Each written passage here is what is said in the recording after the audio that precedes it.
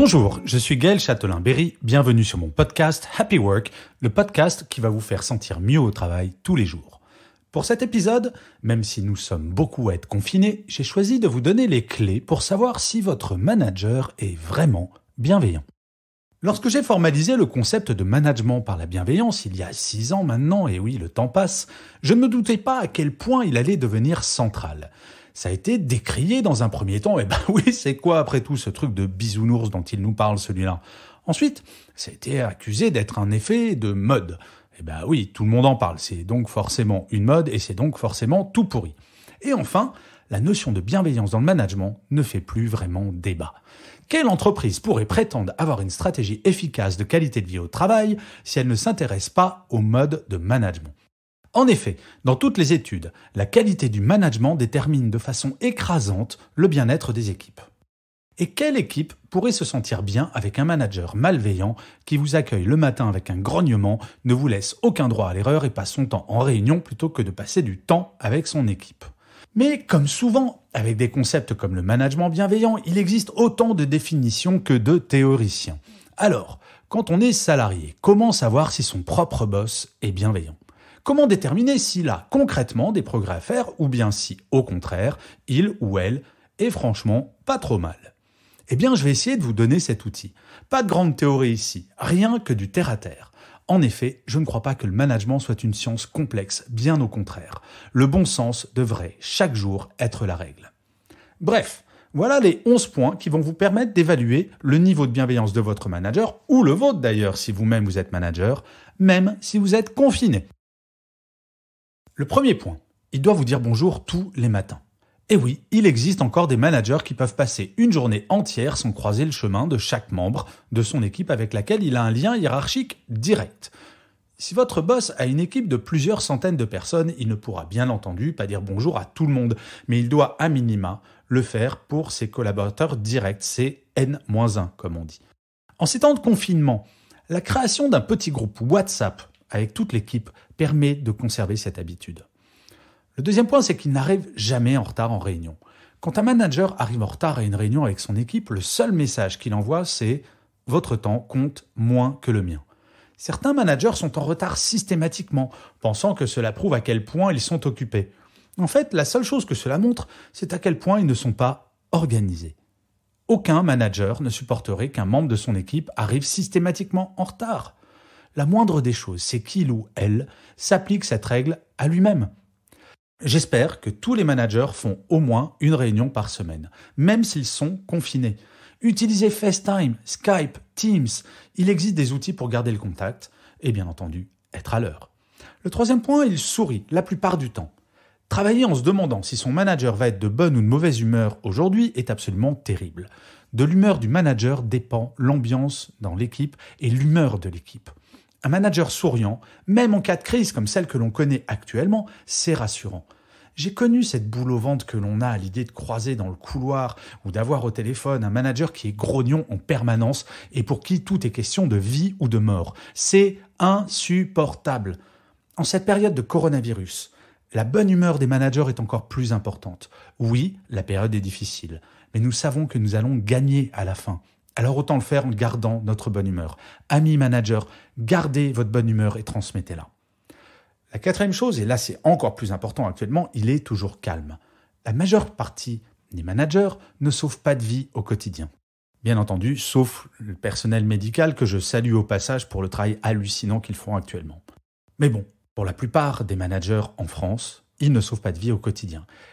Rien ne légitime de perdre son calme face à une erreur ou à un échec de son équipe. La question dans ces cas, ce n'est pas de se défouler, mais de trouver une solution pour corriger le problème et surtout pour que cela ne se reproduise jamais. Un manager bienveillant fait grandir, il ne fait pas se sentir tout petit les membres de son équipe.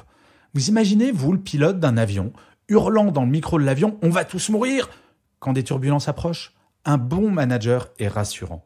Et encore une fois, dans la période que nous vivons, c'est absolument fondamental. Le cinquième point, c'est qu'il vous donne un droit à l'erreur.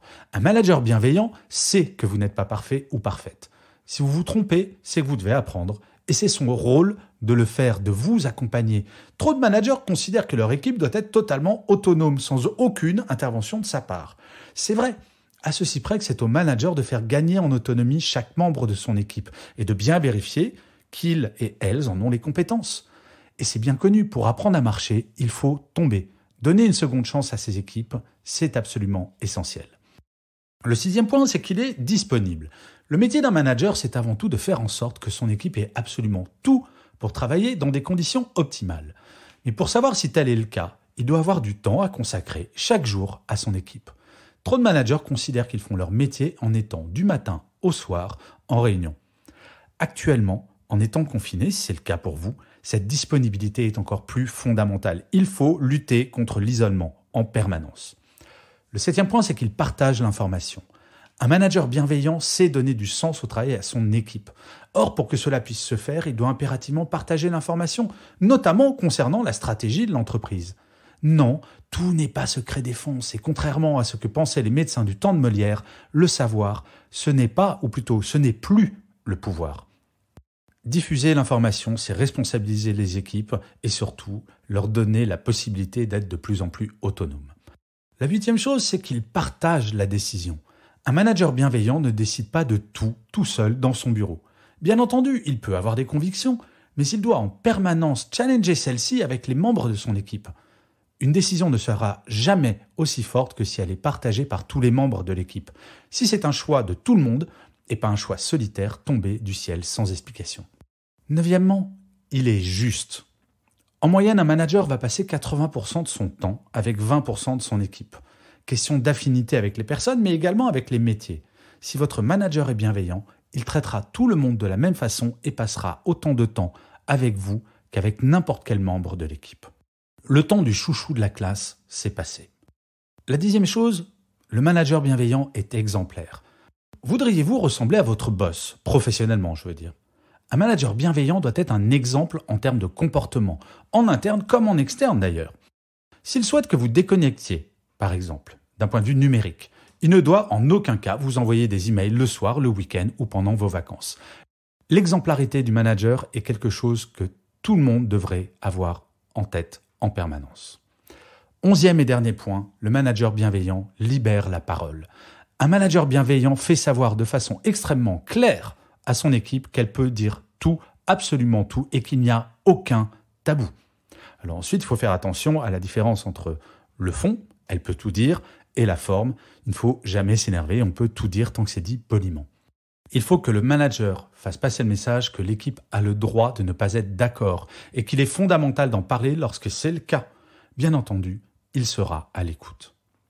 Alors, quel est le verdict? Avez-vous déjà travaillé avec un manager totalement bienveillant ou à contrario totalement malveillant?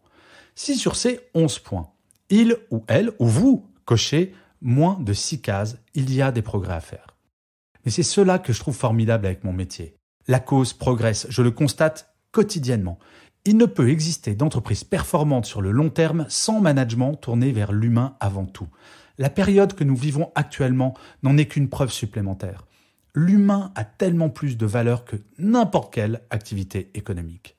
Si votre manager n'est pas parfait, parlez-en. Et oui, la libération de la parole passe par tous les niveaux hiérarchiques. Et j'ai déjà vu beaucoup de managers évoluer car leur équipe leur a demandé de le faire car lui-même n'avait pas conscience qu'il avait des progrès à faire. Ce qui est formidable avec l'être humain, c'est que rien n'est figé dans le marbre. Et comme d'habitude, je finirai cet épisode de Happy Work par une citation.